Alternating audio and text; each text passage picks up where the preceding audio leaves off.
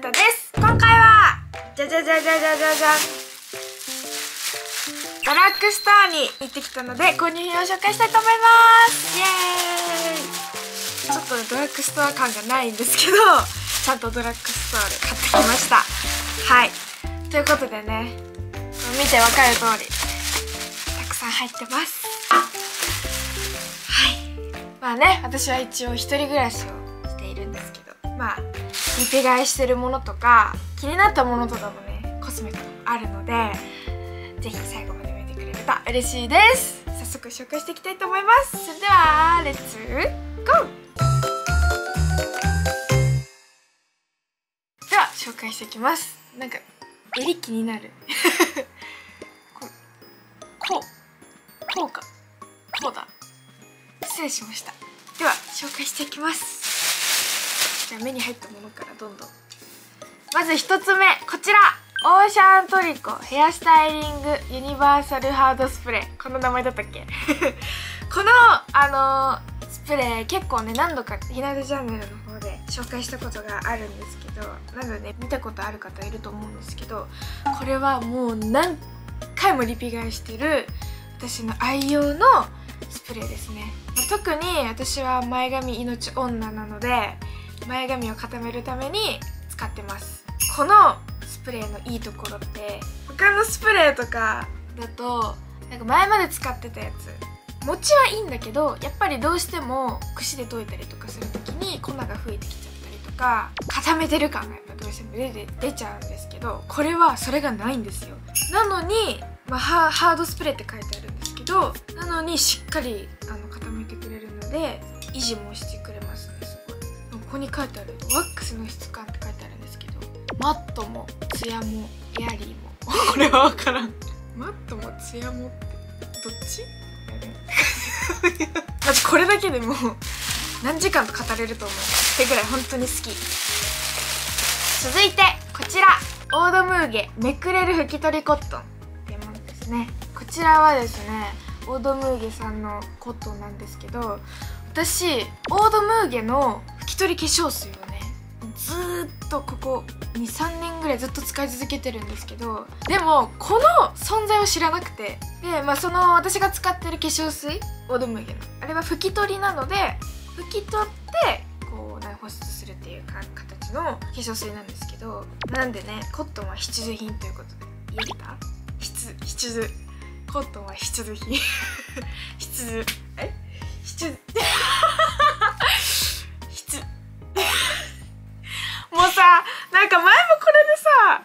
た気がするんだけど。必需品。あ必需品か。もともとの。名前分かんなかった。必需品ですね。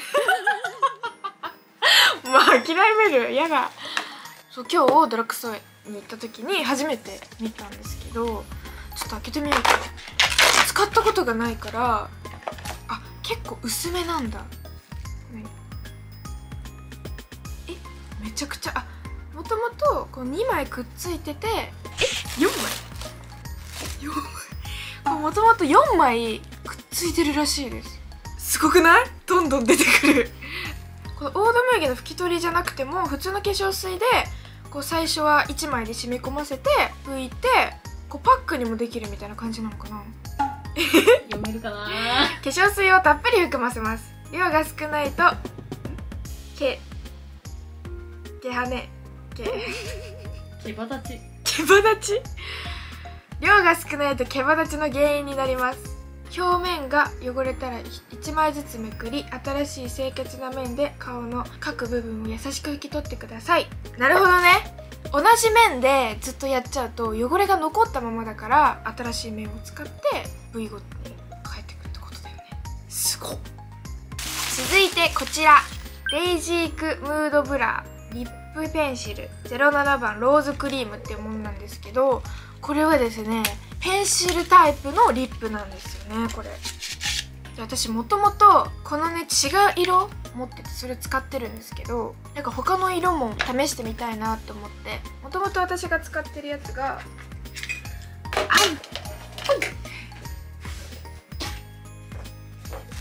もと使ってるやつがこれはオーバーピンク08番のものを使ってるんですけどこれがですねこんな感じでペンシルタイプでちょっとコーラル味が強いのね。だから普通のピンク味が強いものも試してみたいなって思って買ってみました。こういう感じで細めにはなってるので塗りやすいっていうのもあるしあとはこの質感がめちゃくちゃ好きなんですよね。なんか本当にザ韓国人の唇みたいな。なんかジュワッてしてる感じある。だけどなんかちょっとマットな感じ。ムードな感じ。それを表現してくれるんですよねこのリップは。私はこれを最初にベースとして塗ってるんですよ。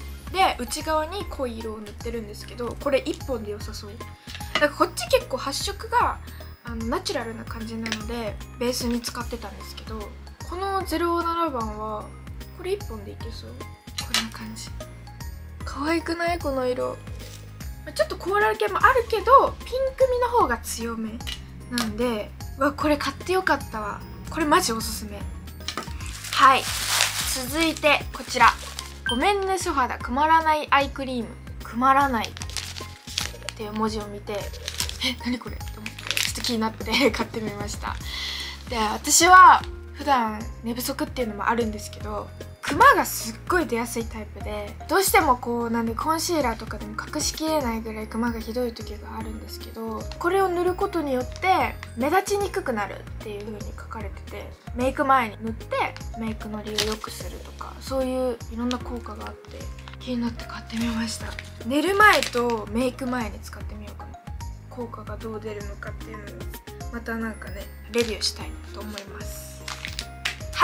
最後はですね急にでかいの来たなって感じなんですけどじゃじゃじゃじゃん。これは柔軟剤ですね。私がずっと使ってるランドリーンっていうものですね。これマジで匂いがめちゃくちゃいいんですよ。で私結構ね聞かれるんだよね。なんか柔軟剤どこのとは聞かれないけどいい匂いするねって言われることが多くなってこれ使ってから。何の香水使ってるのって聞かれるんですけど香水じゃなくてこれ。これマジいい匂いする。フローラルの匂い。お花の匂い。うん。お花の匂い。クラシックフローラルって書いてある。伝わんないよね。これどう説明すればいいんだろうなんかきつすぎずだけどちゃんといい匂いにしてくれる。まあどちらかというとさっぱりめではあると思う。甘めとかなんかそういうのが苦手な人とかはこれおすすめしますね。ということで以上ですね。ドラッグストアで買ったものはこんな感じです。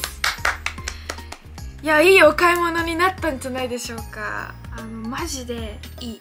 なんならみんなに紹介したいがために買いました。って感じでマジでおすすめ。ということで最後まで見てくれてありがとうございました。いいと思ったらこれチャンネル登録もよろしくお願いします。ではバイバーイ。